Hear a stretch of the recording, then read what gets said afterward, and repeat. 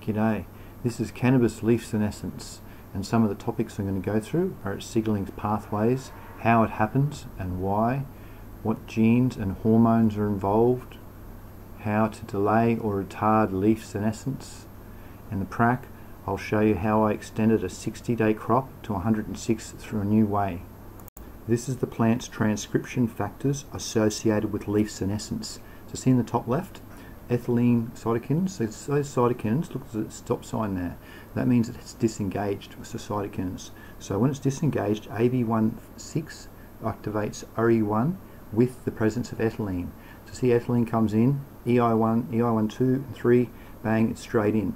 Once it's activated, it'll turn on all of them others on the right, except for the top one, which is chlorophyll maintenance. So it pretty much degrades everything. And then if you go back to cytokinins, we'll turn it on now. So if we put a little arrow there and turn it on, that means the arrow going up to ORI1 won't actually be engaged, not triggering senescence and then extending your crop. This is um, the degradation process. So chlorophyll on the left is still got heaps, and then as it goes through its life stages, it slowly breaks down, goes through the different pigments, carotenoids, flavonoids, and into anthocyanins. And the reason why some people use blue in the end of their crop, when it's because anthocyanins actually can photosynthesize that spectrum really well. I Haven't done this since day 18. It's looking pretty damn good.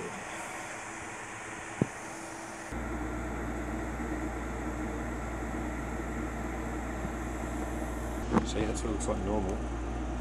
Shitty purple, and put green sunnies on. And chink.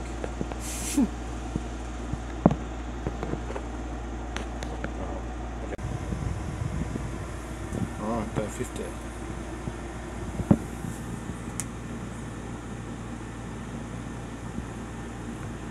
This is the factors affecting leaf senescence. So on the left, the endogenous ones or the internal ones. So the phytohormones, which we just spoke about, the age, and then the reproductive growth. Then on the right is the environmental or the abiotic or biotic stresses, and I'm not going to go down and read all that list. And this is similar, just showing similar abiotic and biotic stresses, but the one we're interested in, in the middle is hormones. So hormone regulation. So see gibberellic acid, auxin, cytokinins. So if you go down auxin, so it's auxin response factor, and then it stops. And then cytokinins, see there's only four genes or five that you've got to engage, and then it stops again. So if you can change that and turn them on, you can actually disengage leaf senescence. And on the left, redox regulation. Redox is your oxygen reduction potential, and that goes down to your, your reactive oxygen species, and that goes down and directly engages with leaf senescence. Snap.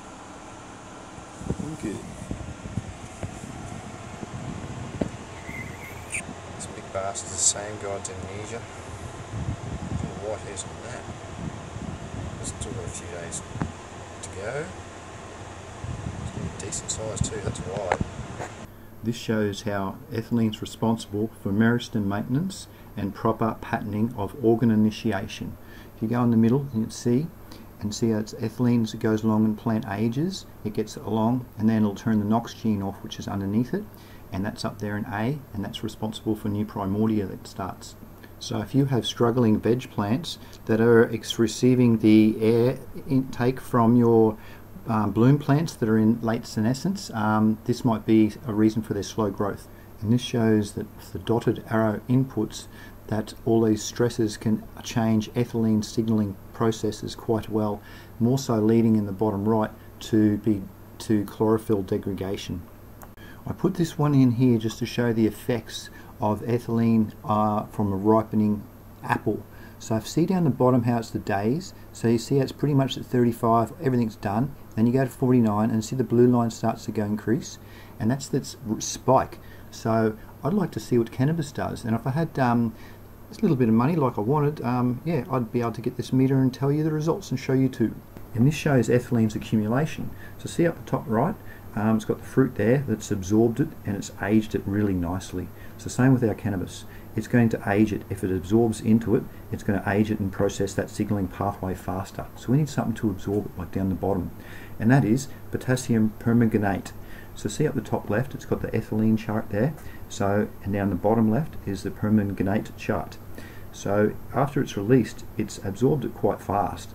um, and then it goes after like 80 minutes on this chart. So what we could do with cannabis is the same thing. Release it in senescence and it would delay senescence, which allows you to extend your crop. The whole thing got, I burnt it and it all come back like stupidly big. That's my hand. Oh, that's pretty bloody big. Tape bloody 70. oh, snapshot. Jink. Today 80. Some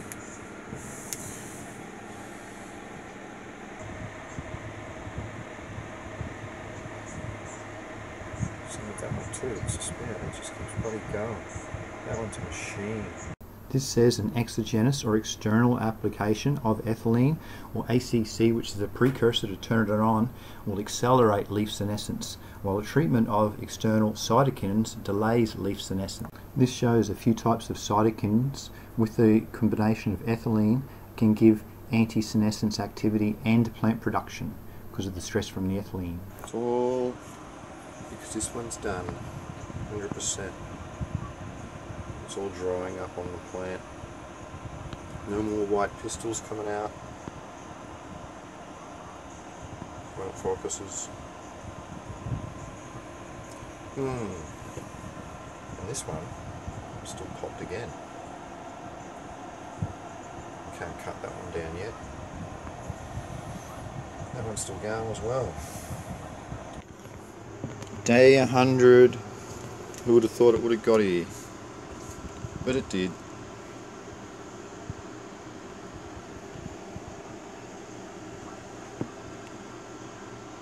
There's a 30 centimeter raw. That's about 10 centimeters from there to there. And you can see the height of it. That's 30 centimeters. That. Nice bud. it's probably going to weigh like a quarter of a pound. Just that chunk.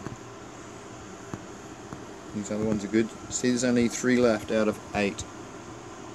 They all got, I'm getting about two ounces a plant, so that's probably going to be two ounces. So yeah, that's going to be a chunk and a half. And do the LEDs get right down to the bottom?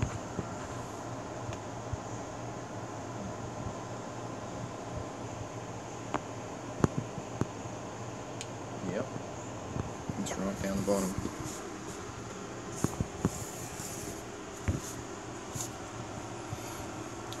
And Cytokinins counters senescence, it reckons, and it works with ethylene to cause abscission of leaves, fruits or flowers. And on the top left, it uh, works with ethylene there, remember in the signaling cascade pathway, and then it goes through and it degrades things, it protein breaks them down and catabolizes them. Meaning that for a plant's metabolism, the catabolic pathway makes it first and then the anabolic pathway uses that energy. This shows a few cool things for happening with cytokinins, but um, for stresses. So from the left, and it goes green to yellow, loses its all its pigments. Down the bottom, program cell death. And this says cytokinins encourage cell division and enlargement to promote senescence. Leaves grow themselves to death. the ones that I It's the one that I've one of the ones that I chopped the top off and see how it's just huge. They're ones that I didn't. So singles, doubles, doubles, double, it's a single.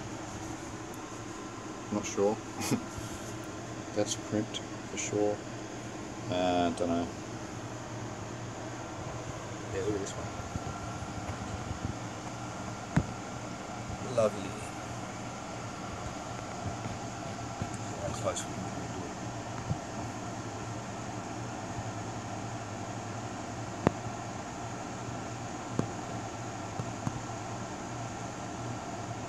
Mmm, lovely, yummy, sticky, gooey, turked up, looking yummy goodness. That's a bit strange.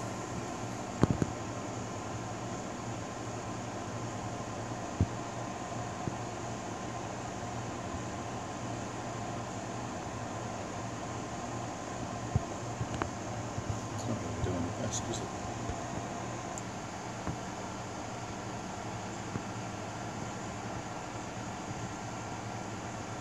There I've never touched them. See all the trichomes there? They're all still intact.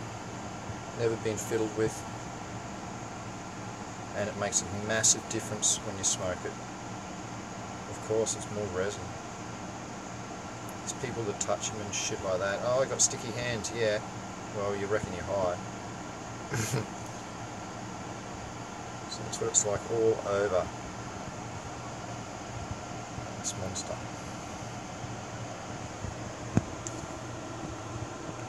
So cytokinins delay senescence. It's a programmed aging process that occurs in plants where they lose chlorophyll, RNA, protein and lipids. And down the bottom, cytokinin application actually reduces the amount of chlorophyll and protein degradation to the leaves. See on the left here, C, that's been applied, and on the other side, B, that's also had an application of cytokinin of foliar sprayed, so you can see the difference. Possibly what we could do in cannabis is wipe some of the fan leaves down in late flower and see if that um, makes a difference, but I haven't played around with it yet either. This shows that they have played around with it, and after 48 to 72 hours after it, they found a big difference in their chlorophyll, and that was one picogram per litre. This is another cool example on the right how they've made an application. Come on, try it. If you want to extend your crop, let me know how you go. This is a Miracle-Gro too, to see if these LED lights work. and they work. As you can see, I fed Miracle-Gro only for the first 20 days of flower. And then for the last 80 days they've had water only. No more Miracle-Gro. Come on. Psycho.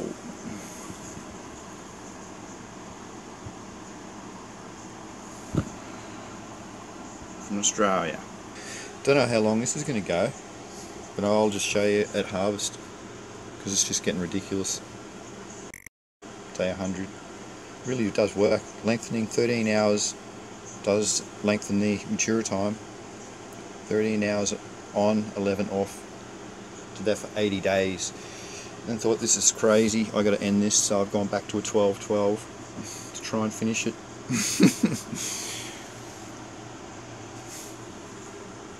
Hmm. Nice, the three plants.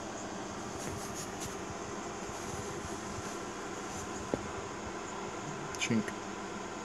Uh, this says uh, in the middle, most cytokinin produced in root apical meristems and transported throughout the plant. And on the bottom left, this is how it's transported. So it goes up through the xylem and then back through the phloem.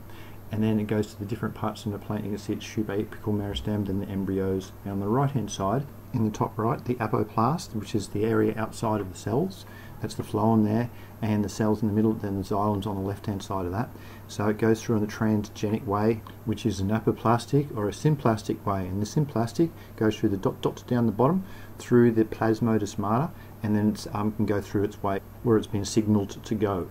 And this shows the two types of cytokinins in the middle, IP and TZ, the isopentenyl adenine and transzeatin that they go through the process way that um, was just previously explained. And this one up the top, leaf senescence, shows the cytokinin pathways to senesce through some cytokinin response factors. Final day. It's day 100. It's today, day 106 in flower.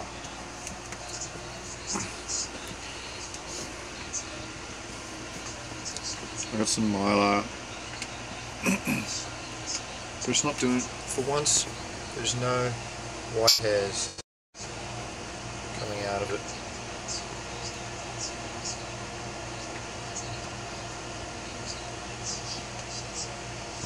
So that's good.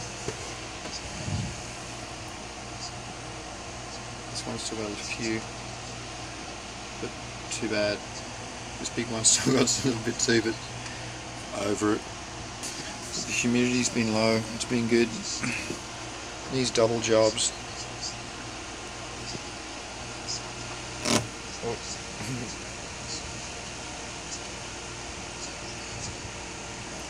That's, sing that's a single, not cut. That's a double. Look at the difference. There's two. There's two top, tops there. That's the difference. So you can leave them and they look like that, or if you just snip a tiny little bit off it, week three, they'll double, and you get two or three at the top, like that big banger.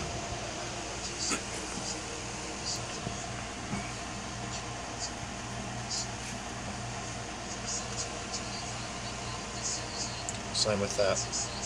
That one's got difference. Shed. It's coming out.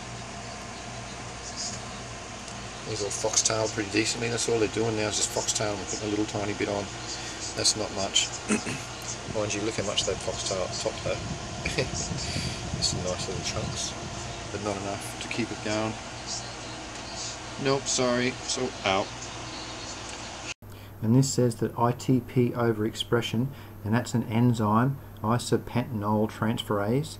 It's responsible for rate limiting steps in cytokinin biosynthesis that it causes reduced apical dominance, reduced root growth, and delayed leaf senescence. So you can see down the bottom there with um, the one with not much roots. So it's good fun mucking around with sort of stuff, but you've got to be careful because too much can be very, very harmful and you can go the opposite ways. Last one, I thought I'd throw in another way to extend the plant's life through something different. This is through auxin. So it's just suggesting that with the YUC gene, which is responsible for auxin biosynthesis, um, if you go to the YUC6, it goes down to free auxin, and they reckon it can extend your plant's life. so thanks for watching. Happy breeding, happy growing to you.